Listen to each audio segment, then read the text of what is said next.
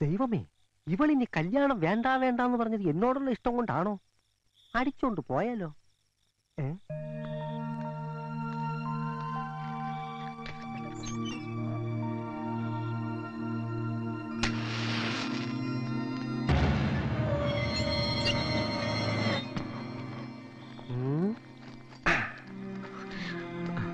ആരും കണ്ടില്ല അച്ചു കണ്ടു. അബദ്ധം പറ്റിയതാ. വേഗം വാ.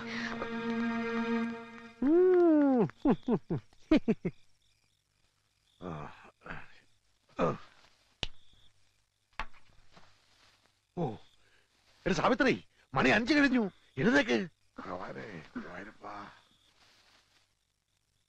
അമ്മായി സരസ്വനെ മുറി കണ്ടില്ല. കണ്ടില്ലേ? അവളിത് എവിടെ പോവാനാ? എവിടെ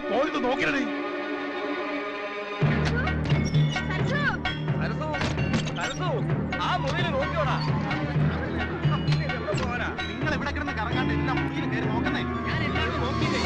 സരസു എടി സരസുവേ എന്ത്? മോളെ സരസു. സരസു എടാ അച്ചു എടാ അച്ചു. ഓ കിടന്നുറങ്ങുന്നോടാ പോത്തുകളെ. പെണ്ണിനെ കാണാനില്ല. എടാ അച്ചുവേ സരസുവിനെ കാണാനില്ല. ഒന്ന് അന്വേഷിക്കടാ. അന്വേഷിക്കാനൊന്നുമില്ല അവൾ പോയി. എങ്ങോട്ട് അവളെ കാമുകനോടൊപ്പം. കാമുകനോടൊപ്പോ? ആ പാലത്തിങ്കൽ കുറിപ്പിന്റെ മകൻ കൊച്ചുകുറിപ്പിനോടൊപ്പം സ്ഥലം വിട്ടു. ഞാൻ എന്റെ കണ്ണുകൊണ്ട് കണ്ടതാ. ആ, എന്നിട്ട് എന്താ നീ മിണ്ടാതിരുന്നേ? ചെറുപ്പം മുതലേ ഒന്നിച്ച് കളിച്ചു വളർന്ന പിള്ളാരല്ലേ? പോട്ടെ എന്ന് ഞാനും കരുതി. എടാ! അവർ തമ്മിൽ പ്രേമമാണെന്ന് ഞാൻ ഇന്നലെ പറഞ്ഞതല്ലേ? എന്നിട്ട് കേട്ടോ? എല്ലാവരെയും ഒന്നിച്ച് കളിപ്പിച്ച് അവർ നാട് വിട്ടു. ചെറുക്കലെ കൂട്ടിന് വരുമ്പോ പെണ്ണില്ലെങ്കിൽ ഞാൻ എന്തോ പറയും? മുതലാളിക്ക് പറയാൻ ബുദ്ധിമുട്ടാണെങ്കിൽ ഞാൻ പറയാം. എന്ത്? പെണ്ണോളിച്ചോടിയെന്ന് പോടാ! അവർ നാട് വിടുമ്പ് എനിക്ക് പിടിക്കണം.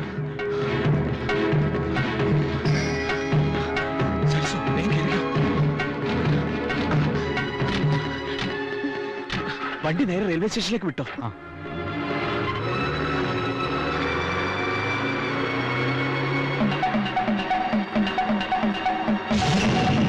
എന്റെ ഈശ്വര ഞാൻ എന്തായി കേക്കണേ?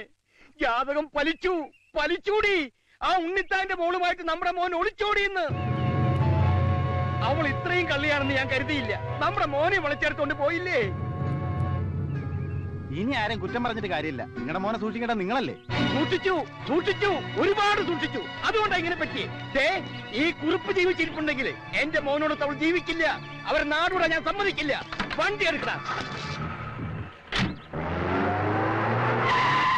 യാത്രക്കാരുടെ ശ്രദ്ധയ്ക്ക് തിരുവനന്തപുരത്ത് നിന്നും ഈറോഡിലേക്ക് പോകുന്ന ആറായിരത്തി ഇരുന്നൂറ്റി മുപ്പത്തിമൂന്നാം നമ്പർ തിരുവനന്തപുരം ഈറോഡ് എക്സ്പ്രസ്. അല്പസമയത്തിനുള്ളിൽ ഒന്നാം നമ്പർ പ്ലാറ്റ്ഫോമിൽ വന്നു ചേരുന്നു മണിക്കുട്ടൻ എത്തിയില്ലേ? ട്രെയിൻ എത്താറായി. ഒന്ന് സ്പീഡിൽ വിടറോ. വിമാനത്തിന് സ്പീഡ് ഓട്ടോറിക്ഷയ്ക്ക് കിട്ടൂല മോനെ. ഒന്നാമത് എഞ്ചിൻ പണി ഏറെ വണ്ടിയാണ്.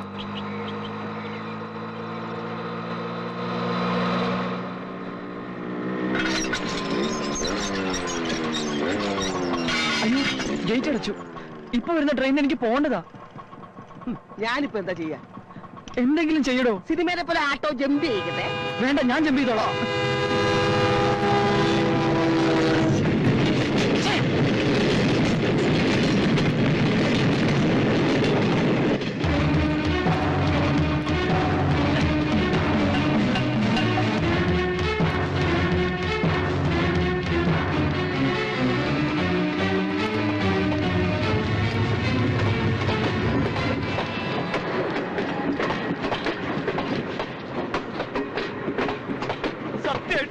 അല്ല. ഇന്ന് വെളുപ്പിന് തന്നെ നീ എന്റെ വീട്ടിലെത്തുന്നു പറഞ്ഞപ്പോ ഞാൻ കരുതിയില്ല അതെന്റെ മോളെ പൊക്കിക്കൊണ്ട് പോകാനായിരുന്നു. ഞാനൊന്ന് പറയട്ടെ? മാന്യമായിട്ട് ജീവിക്കുന്നവരെ മാനം കെടുത്തിയിട്ട് നിന്ന് ന്യായീകരിക്കുന്നു. ഉണ്ണിത്താനോട് കളിച്ചാൽ നിന്നെ കൊന്നു കുഴിച്ചു കൂടും പറയടാ അച്ഛാ. മിണ്ടിപ്പോവരുത്. തൊട്ടുപോകരുത് അവനെ. ഇവനെ തല്ലാൻ നിനക്കെന്താ അവകാശം? എത്തിയല്ലോ സൂത്രധാരൻ. ഇന്നലെ അച്ഛനും മോനും കൂടെ വീട്ടിൽ വന്നത് എന്റെ മോളെ പാട്ടിലാക്കാനുള്ള തന്ത്രവുമായിട്ടായിരുന്നല്ലേ? വിരലൊന്നും ഞൊടിച്ച കൂടെ പോരാ തന്റെ മോളെ പാട്ടിലാക്കാൻ അത്ര വലിയ തന്ത്രമൊന്നും പ്രയോഗിക്കണ്ട.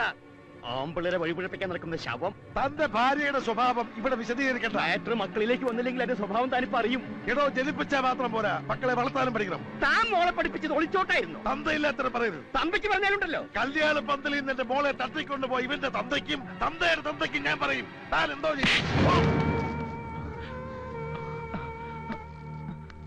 എടാ ഉണ്ണിത്താനെ ഇനി തിരിച്ചു തല്ലാമെന്ന് സമയം കളയുന്നത് ശരീരത്തിന് നല്ലതല്ല. ബുദ്ധി ഉണ്ടെങ്കിൽ മുഹൂർത്തം കഴിയുന്നതിന് മുമ്പ് ഇതിനെ വിളിച്ചുകൊണ്ട് പോയി നിശ്ചയിച്ച് ചെറുക്കന്റെ തലയിൽ വെച്ച് കെട്ട്.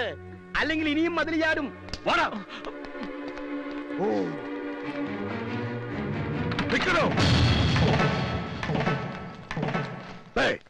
എനിക്ക് തന്നെ സമ്മാനവും വേണ്ട ഒരു കോപ്പം വേണ്ട. ഇതോടെ നമ്മൾ തമ്മിലുള്ള സകല ഏർപ്പാട് തീർന്നു ആ പിന്നെ സമയമില്ലാതായി പോയി ഇല്ലെങ്കിൽ തിരിച്ചു തന്ന് പത്ത് പേജ് തെറി പറയാൻ എനിക്ക് അറിയാൻ വയ്യാഞ്ഞിട്ടല്ല. ഓ മുഹൂർത്തമായി. പാടി കേരള ഇങ്ങോട്ട് ഇറങ്ങടി. മോളെ. വാ. മോളെ കൊണ്ടുപോയി സാരി മാറ്റിയിട്ട്. ഇപ്പൊ തുണി ഉടുത്തിട്ടുണ്ടല്ലോ അത് മതി. പെണ്ണത്തി പെണ്ണത്തി. ഞാൻ പറഞ്ഞില്ലേ മുതലാളി മിടുക്കനാണെന്ന്? എങ്ങനെയെങ്കിലും പെണ്ണിനെ ഒപ്പിച്ച് മുഹൂർത്തത്തിന് മുമ്പ് എത്തുമെന്ന്? ഓ ഭാഗ്യം. തക്ക സമയത്ത് എത്തിയതുകൊണ്ട് പെണ്ണ് ഒളിച്ചോടിയില്ല. സമയമായി. ചെന്നിരിക്കണേ മണ്ഡലത്തിലേക്ക് എന്താണോ നോക്കിയിരിക്കണേ? ഊതടോ. എന്നാ കെട്ടി നടത്തിയേക്കാം നിർത്തണോ? മറ്റൊരുത്തന്റെ കൂടെ ഒളിച്ചോടി പോയ പെണ്ണിനെ കെട്ടേണ്ട ഗതികേട് എന്റെ മോനില്ല. പെണ്ണ് ഒളിച്ചോടി പോയില്ലല്ലോ. അതിന് മുമ്പ് പിടിച്ചോടി വന്നല്ലേ? അതെ ഇനി ഒളിച്ചോടാതെ നിങ്ങൾ നോക്കിയാ മതി. അയ്യോ, വാടാ വന്നോളൂ. അതെ അതെ. ഞാൻ പറയുന്നത് നിങ്ങൾ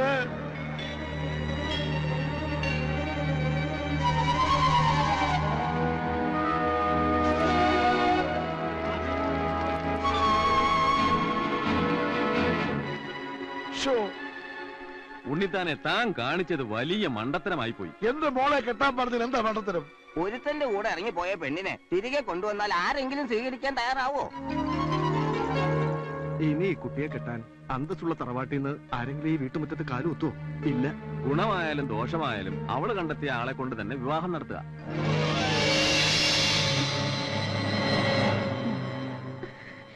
പാലത്തിങ്കൽ കുറിപ്പ് തറവാടിത്തത്തിൽ മുതലാളിയെക്കാളും ക്യാമന. ഇനി ഒന്നും ആലോചിക്കാനില്ല. ഈ മുഹൂർത്തത്തിൽ തന്നെ നടത്താൻ ശ്രമിക്കുക. ഛേ എടുത്തു ചാടി ഞാൻ അയാളുടെ തന്തയ്ക്ക് വിളിക്കുകയും ചെയ്തു. സാരമില്ല.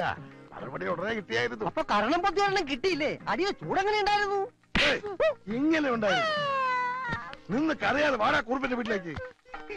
അച്ഛാ. മോൾ വിഷമിക്കാണ്ടിരി ഞങ്ങളൊന്ന് പോയി സംസാരിക്കട്ടെ. നിന്റെ മനസ്സിനകത്ത് ഒരു ആഗ്രഹം ഉണ്ടായിരുന്നെങ്കിൽ നേരത്തെ പറയാമായിരുന്നില്ലേ? ഞങ്ങളത് നടത്തി തരായിരുന്നില്ലേ? ഓടി ഓടുന്നു.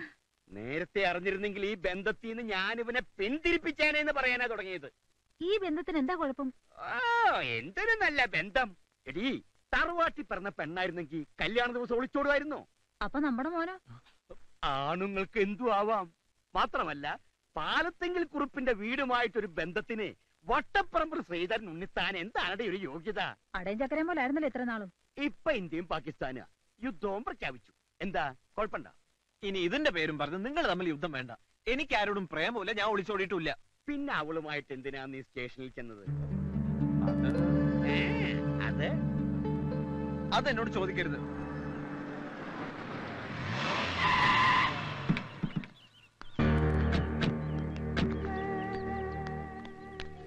കാര്യങ്ങൾ എത്രത്തോളമായ സ്ഥിതിക്ക് ഞാനൊന്ന് തീരുമാനിച്ചു. എന്റെ മോളെ കൊണ്ട് ഒളിച്ചോടിയത് ഏത് തന്റെ മകനാണ് ശരി? അവനെ കൊണ്ട് തന്നെ കെട്ടിക്കുമെന്ന്. എന്നാ പിന്നെ എത്രയും പെട്ടെന്നതായിക്കൂടെ? അത് പറയാനാണല്ലോ ഇങ്ങോട്ട് വന്നത്. ആ അതെ. ഇനി ഒന്നും നോക്കാനില്ല കുറുപ്പേ. കൊച്ചുകുറുപ്പുമായി ഉടനെ വീട്ടിലെത്തുക കെട്ടു നടത്തുക. അയ്യോ എനിക്ക് എന്റെ വീട്ടുകാരും ബന്ധുക്കാരെയൊക്കെ ഒന്ന് അറിയിക്കണ്ടേ? ഓ അതിനൊന്നും സമയമില്ല. കെട്ട് കഴിഞ്ഞ് ചെറുക്കനും പെണ്ണും കൂടെ വിരുന്നിന് പോയാ പോരെ? ആ. അത് മതിയല്ലേ? പിന്നെ ധാരാളം പതി. എന്നാൽ അത് പോരാ. എനിക്കുള്ളത് ഒരേ ഒരു സന്തതിയാ. അവന്റെ കല്യാണം നാട്ടുകാരും വീട്ടുകാരും അറിഞ്ഞ് അന്തസ്സും തറവാടിത്തമുള്ള കുടുംബത്തിൽ നിന്നായിരിക്കണമെന്ന് എനിക്ക് നിർബന്ധമുണ്ട്. ഈ പറഞ്ഞതിന്റെ അർത്ഥം മുതലാളിക്ക് അന്തസ്സും തറവാടത്തും ഇല്ലാന്നല്ലേ? കണ്ടോ? ഇവന് കാര്യം പറഞ്ഞാൽ മനസ്സിലാവും. പിന്നെ ഉണ്ണിത്താനെ നിശ്ചയിച്ച കല്യാണം മുടങ്ങിയപ്പോ തന്റെ മോളെ എന്റെ മോന്റെ തലയിൽ വെച്ച് കെട്ടാൻ നോക്കണ്ട. കല്യാണം മുടങ്ങിയതിന് ഉത്തരവാദി തന്റെ മോല എന്റെ മോളെ കണ്ണും കയ്യും കാണിച്ച് പ്രേമിച്ച് വിളിച്ചിറക്കിക്കൊണ്ട് പോകുന്ന സാക്ഷികളുണ്ട്. ആരാ സാക്ഷി? ദേ ഇവൻ തന്നെ പറഞ്ഞുകൊള്ളാ ഞാൻ കണ്ടതാ. ഏത് കോടതിയിലും ഇവനീ സത്യം പറയും. എനിക്ക് വിശ്വാസമില്ല. ഒരു ആയിരം രൂപ കൊടുത്തവൻ അത് മാറ്റി പറയും ഒരിക്കലും ഒരു ആയിരം രൂപയ്ക്ക് വേണ്ടി മാറ്റി പറയില്ല മുതലാളി ഞാൻ. കണ്ടോ ഒരു ആയിരത്തി അഞ്ഞൂറെങ്കിലും കിട്ടണം. മോനെ തീരുമാനം നിന്റെയാ. നീ സ്നേഹിച്ച പെണ്ണ അവൾ. അങ്ങനെ ഒരു ബന്ധം ഞാനും സരസും തമ്മിലില്ല. കേട്ടില്ലേ? ഇനി എല്ലാവർക്കും പോവാലോ? തന്നെ പേടിച്ചാ ഇവനിങ്ങനെ പറയുന്നത്. അല്ലെങ്കിൽ താൻ ഇവന്റെ മനസ്സ് മാറ്റിയെടുത്തതാ. എടാ മോനെ നിന്നെ വിശ്വസിച്ച അവൾ ഇറങ്ങി പോകുന്നത്. അല്ല അല്ല. ഇനി സംസാരിച്ച് സമയം കളയണ്ട. ഉണ്ണിത്താൻ പോ. ഞാൻ പോവുക പക്ഷെ ഒരു കാര്യം എന്റെ മകൾക്കൊരു മംഗല്യം ഉണ്ടെങ്കിൽ അത് തന്റെ മകനുമായിട്ടായിരിക്കും. ഇന്നല്ലെങ്കിൽ നാളെ ഈ കല്യാണം ഞാൻ നടത്തും. ഉറപ്പാ. പാലത്തെങ്കിൽ കുറിപ്പ് ജീവിച്ചിരിപ്പുണ്ടെങ്കിൽ അത് നടക്കില്ല. ഉറപ്പ്. ഇത് കുറിപ്പിന്റെ ഉറപ്പല്ല. ഈ ഉണ്ണിത്താന്റെ വെല്ലുവിളിയാ. നോക്കിക്കോ.